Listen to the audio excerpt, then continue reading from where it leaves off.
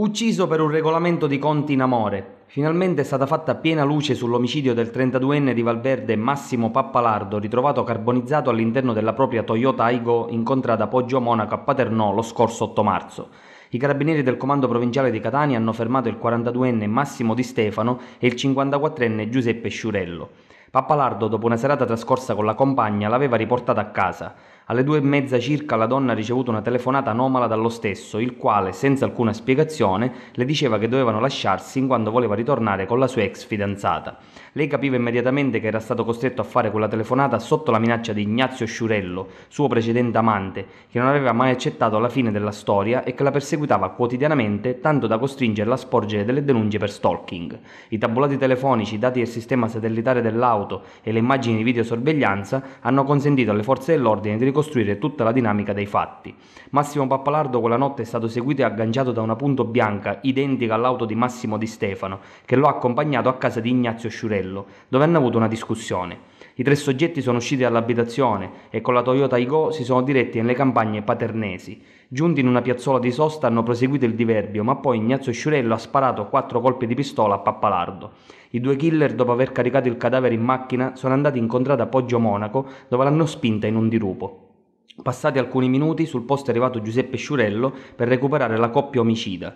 Tornati sul luogo con una tanica di benzina, hanno bruciato l'autovettura con il cadavere all'interno. Ignazio Sciurello, agli arresti domiciliari per un altro reato e resosi irreperibile durante le indagini, è tuttora ricercato. Comunica. Codice 02 in atto su Palermo 98, tanto in appoggio anche da lei. Global Security International, gli specialisti della vigilanza e della sicurezza. Personale altamente qualificato, pronto intervento, controlla attività commerciali con tecnologie innovative. Global Security International, servizi di scorta, radio e telecamere, telesoccorso 24 ore su 24, vigilanza notturna e diurna, vigilanza fissa, punzonature, trasporto valori. Global Security International, consorziato Sicurgem. Contattaci per la tua sicurezza.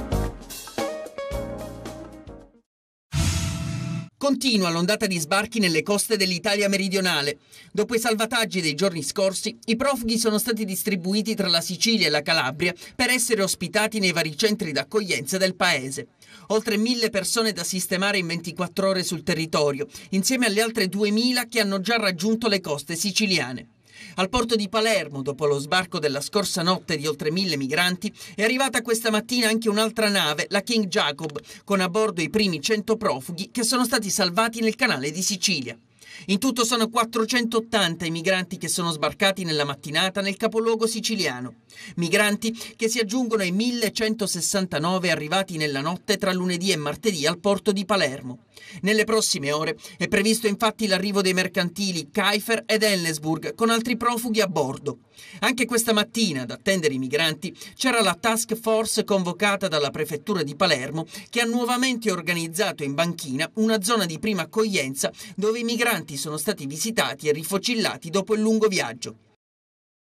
Ieri notte 1169 persone sono state assistite, eh, la macchina organizzativa ricordiamo è coordinata da Sua Eccellenza il prefetto Francesca Cannizzo, eh, su 1169 migranti soltanto 14 sono stati ospedalizzati per patologie assolutamente minori, eh, in due giornate già sono 3.000, oltre 3.000 i migranti che abbiamo assistiti a Lampedusa, anche lì nessun problema di pandemia pandemie eh, le condizioni sono buone e quindi dobbiamo eh, dare, eh, possiamo dire alla popolazione, a tutti i cittadini di stare tranquilli perché tutto avviene in sicurezza e, eh, e non, non c'è alcun problema. Ecco. C'è lo scafista che getta in mare il corpo di un migrante per darlo in pasto agli squali e anche chi dà l'assalto a colpi di mitraglia alle unità navali italiane che prestano soccorso nel canale di Sicilia. E un libro degli orrori, la questione legata ai viaggi della speranza di migliaia e migliaia di profughi ripresi in grande stile negli ultimi giorni anche per le migliorate condizioni meteo marine. L'episodio della mitragliata è avvenuto ieri quando una motovedetta libica ha assaltato sparando in aria un mezzo impegnato nei soccorsi. Un po' come è avvenuto il 15 febbraio scorso, quando quattro uomini armati di Kalashnikov costrinsero la Guardia Costiera a restituire un gommone appena scaricato dal carico umano. E intanto non si arrestano gli arrivi a Porto Empedocle. Ieri giornata di intenso e duro lavoro per gli operatori della Guardia Costiera e Capitaneria di Porto per l'approdo in rapida successione di tre unità navali che hanno trasportato complessivamente 567 profughi. Tra gli arrivi anche due cadaveri di immigrati non identificati provenienti da Lampedusa assieme a 249 profughi a bordo del traghetto di linea Sansovino. Ad accogliere le due bare in porto anche il prefetto e il questore di Agrigento Nicola Diomede e Mario Finocchiaro.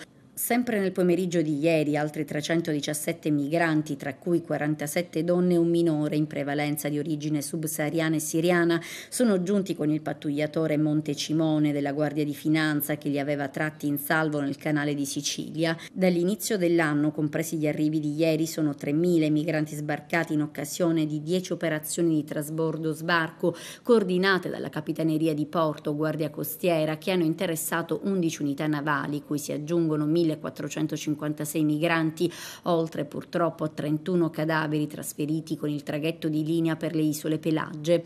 A questi vanno ad aggiungersi 24 migranti intercettati in mare o rintracciati a terra in occasione di due operazioni di contrasto al fenomeno migratorio che hanno coinvolto personale e mezzi della Guardia Costiera per un totale di 4.483 migranti giunti a Porto Empedocle dall'inizio dell'anno e intanto gli agenti della squadra mobile di Agrigento hanno fermato due tunisini presunti scafisti dell'imbarcazione giunta a Lampedusa l'11 aprile scorso.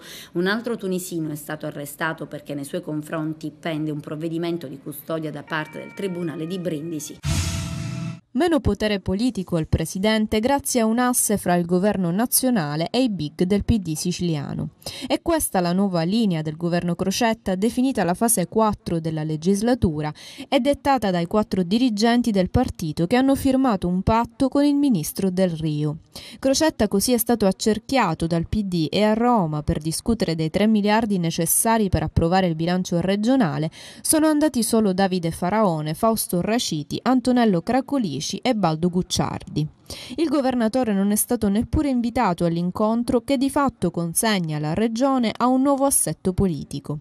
Segnale che Roma non riconosce più, almeno in questa fase, il presidente come interlocutore privilegiato.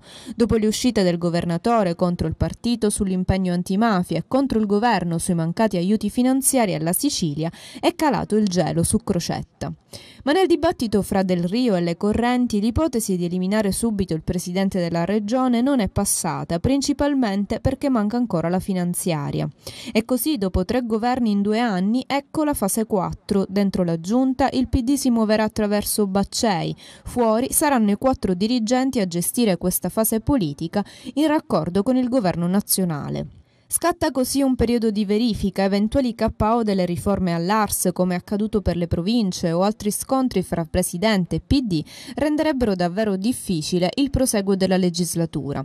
A quel punto, scommettono i renziani, ai 25 deputati del PD verrebbe chiesto di togliere il sostegno a Crocetta e sfruttando la linea del tutti a casa annunciata dai 14 grillini e da Forza Italia si arriverebbe alle elezioni in autunno.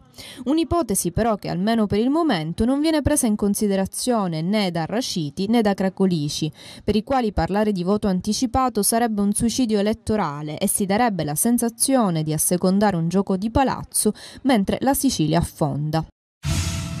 In Sicilia nel 2014 la Guardia di Finanza ha scovato 591 evasori totali, imprenditori e professionisti sconosciuti al fisco che hanno evaso per milioni di euro. Le Fiamme Gialle dell'isola, agli ordini del generale Ignazio Gibilaro, ha scoperto oltre 2.200 lavoratori nero o irregolari e 658 datori di lavoro che hanno commesso irregolarità. 4.226 gli interventi ispettivi, 974 le persone denunciate, oltre 800 milioni di euro tra sequestri e confische, 40 persone denunciate per usura e 9 arrestate, 35 denunciati per riciclaggio e poi per reati fallimentari, denunciate 242 persone e 10 arrestate. Sequestrate circa 100 tonnellate di hashish e marijuana, 32 kg di cocaina e 1 kg di eroina. Denunciate 536 persone, 196 arresti, 19 mezzi sequestrati perché adibiti al trasporto delle sostanze stupefacenti. In un momento storico che risente dell'impatto della crisi finanziaria internazionale sul sistema produttivo, in cui i cittadini avvertono anche il bisogno di una maggiore tutela, non solo per la persona ed i suoi beni, ma anche per l'integrità delle famiglie e delle imprese, occorre dare rilievo anche al concetto di sicurezza economica. Sicurezza che la Guardia di Finanza assicura con il controllo economico del territorio mediante i controlli su persone e merci, per il controllo ai traffici illeciti economici finanziari, quali appunto il lavoro nero, il contrabbando e gioco illegale, vendita di prodotti contraffatti e pericolosi e truffe. È stato dedicato al messaggio di Papa Francesco, promuovere l'economia dell'onestà, il premio IRCAC per la legalità giunto quest'anno alla sua ottava edizione. La cerimonia di consegna dei premi si è tenuta ieri nella Sala Gialla di Palazzo dei Normanni alla presenza del Presidente dell'Assemblea regionale Giovanni Ardizzone. Presenti fra gli altri il commissario straordinario dell'IRCAC Antonio Carullo e il Vescovo di Monreale Monsignor Michele Pennisi. Ad aggiudicarsi il prestigioso riconoscimento due cooperative di Palermo, la Progetto Limpo e la Pulchieri Marresse, che pur nelle loro diverse attività hanno in comune un analogo percorso di legalità. La cooperativa Progetto Limpo è stata costituita lo scorso anno da ex dipendenti dell'ipermercato di Partanna Mondello, una struttura commerciale confiscata alla mafia. Nel progetto di rilancio dell'azienda i lavoratori hanno investito la propria indennità di mobilità e il proprio TFR e grazie alla sinergia con il sistema Legacop e con le istituzioni il centro commerciale è stato riaperto. Stato. La cooperativa sociale Pulchieri Marrese opera nel centro storico di Palermo, gestisce il complesso monumentale del centro San Mamiliano che comprende il bellissimo oratorio di Santa Cita e ha come scopo la valorizzazione della multiculturalità del quartiere. Fra le sue iniziative la creazione di un'orchestra e un coro di bambini che rappresenteranno il Vaticano ad Expo 2015. Nel corso della cerimonia sono state assegnate anche tre menzioni speciali alla cooperativa Telimar di Palermo, alla all'Arancia Rossa Castiglia di Francofonte e alla cooperativa Primavera di Geraci Circulo. Nel suo saluto il presidente dell'Ars Giovanni Ardizzone ha sottolineato l'importanza di assegnare un premio a chi ha il coraggio di continuare a lavorare con onestà in una terra come la Sicilia, tanto bella quanto difficile. Palermo come New York. Nella piena tradizione americana, il capoluogo siciliano si appresta ad avere un supermercato aperto 24 ore su 24 tutti i giorni. Il plesso che lavorerà anche di notte è il Market Carrefour di Via Libertà 30. Il supermercato seguirà la modalità del self-service, che non prevede la presenza di personale al banco dell'ortofrutto dei salumi e i clienti acquisteranno prodotti già confezionati. Gli impiegati saranno alle casse, mentre sarà garantito il servizio di vigilanza. L'inaugurazione della nuova formula è prevista per giovedì 23 aprile dove dalle 21 alle 2 sono previsti diversi eventi e degustazioni. Sinora il Carrefour di Via Libertà aveva chiuso al pubblico alle ore 20.30. A lavorare di notte saranno circa 6 dipendenti già presenti nell'organico. Palermo si conferma la prima città del sud Italia ad aver adottato la formula dell'orario non stop americana. La decisione è stata presa dopo un'attenta indagine di mercato che aveva visto come i cittadini, che lavorano per lo più nelle ore notturne, avessero la necessità di uno store aperto tutta la notte per acquistare beni alimentari. Inoltre a Palermo è già presente la movida notturna composta maggiormente da locali africani e indiani aperti sino a tarda notte che allietano le serate dei giovani siciliani e non solo. Sull'apertura 24 su 24 dello store Carrefour di Via Libertà si pronuncia pronunciato anche Massimo Furnaletto, responsabile dinamiche commerciali, il quale sostiene che la risposta di Palermo sarà positiva. È una città che vive di notte e in questo modo vogliamo offrire un servizio in più come già accede nelle più moderne capitali europee del mondo. Sinora la catena dei supermercati presente in Italia da più di 40 anni ha adottato la formula full time nelle città di Milano, nei pressi di Piazzale Principessa Clotilde, nella zona di Porta Nuova a Torino e in via Madama Cristina a San Salvario. Adesso si attende di capire quale sarà la reazione dei sindacati, dei lavoratori e le associazioni dei negozianti ed esercenti.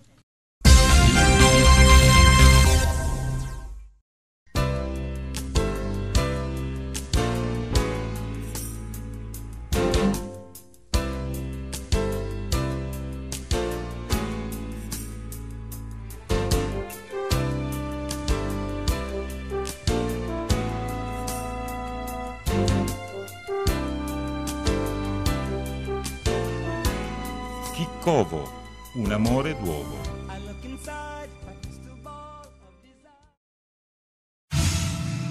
La sua prima rete in Serie A l'aveva messa a segno contro il Napoli, un tiro dai 35 metri e la palla finita in rete dopo essere rimbalzata davanti al portiere.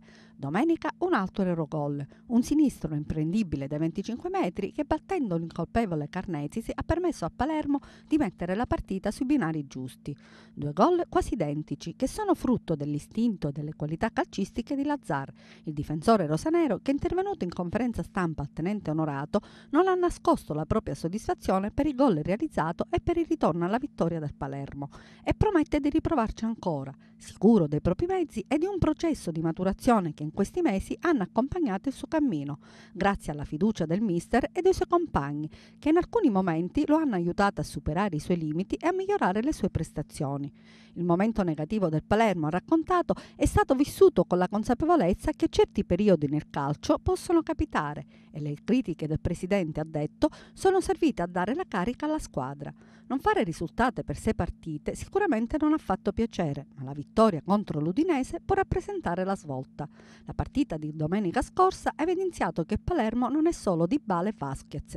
Sono tanti giovani di talento, ha puntualizzato Lazzar, che anche se non trovano molto spazio riescono a dimostrare il loro valore quando scendono in campo, come Ciocev ad esempio, che proprio domenica ha trovato il suo primo gol. La salvezza ormai è stata raggiunta, ma per Lazzar il campionato non è ancora finito. Noi, assicuriamo assicurato, continueremo a giocare con dignità per non fare brutte figure. Nato come esterno alto, il difensore marocchino è cresciuto molto nelle due fasi, quella offensiva e quella difensiva, grazie a detto a Iachini, che impiegandolo nella difesa a 5 gli ha saputo ritagliare una posizione ideale in campo sfruttando al meglio la sua corsa.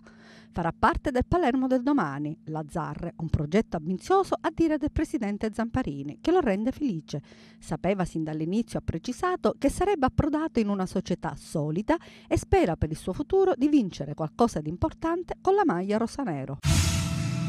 Archiviare il derby perso malamente contro il Catania, smaltire la delusione e guardare avanti. Con questo spirito il Trapani prepara la sfida interna contro il Bari, un vero e proprio scontro salvezza contro una diretta concorrente più avanti in classifica di quei tre punti che i Granata contano di conquistare per avvicinare ulteriormente la fatidica quota 50.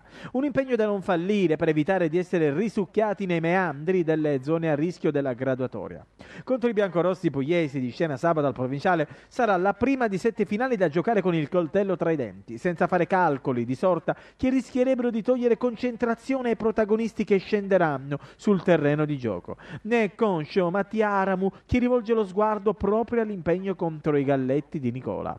Il Bari è un'ottima squadra, ha detto, tuttavia quella di sabato sarà una gara che dovremo provare a condurre noi, anche perché giochiamo davanti al nostro pubblico. Sotto il profilo personale, nelle ultime settimane ho avuto la possibilità di esprimermi al meglio, ha detto. Adesso gioco più avanti rispetto a prima.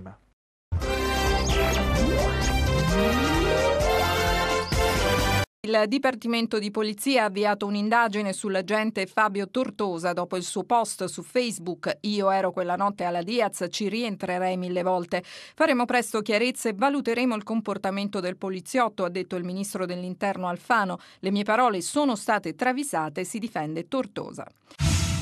Oggi alle 16 a Milano i funerali di Stato per il giudice Ferdinando Ciampi e l'avvocato Lorenzo Claris Sappiani, uccisi giovedì scorso da Claudio Giardiello in tribunale. Sarà presente il Presidente della Repubblica Mattarella per la terza vittima, Giorgio Erba, esequie in forma privata a Monza.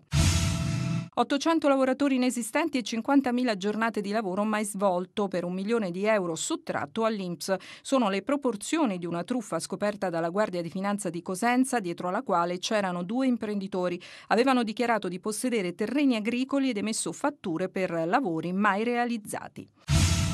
L'Unione Europea contro Google per presunto abuso di posizione dominante. Le autorità di Bruxelles si accingono ad avviare un'azione formale nei confronti del famoso motore di ricerca che rischia una multa da 6 miliardi di dollari.